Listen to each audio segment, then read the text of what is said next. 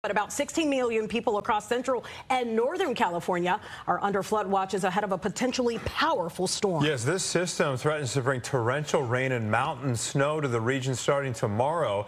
In San Francisco, people lined up to grab essential items and fill sandbags. State officials encouraging residents there to have two weeks worth of essentials on hand. Back-to-back -back snowstorms have weighed down or collapsed several roofs, and local officials fear additional precipitation could cause even more damage get a wet snow like we see water, you know, it's it's a little over eight pounds a gallon. So the wetter the snow, the heavier it is, and it just compounds the, the weight, the additional weight that's being put on these structures.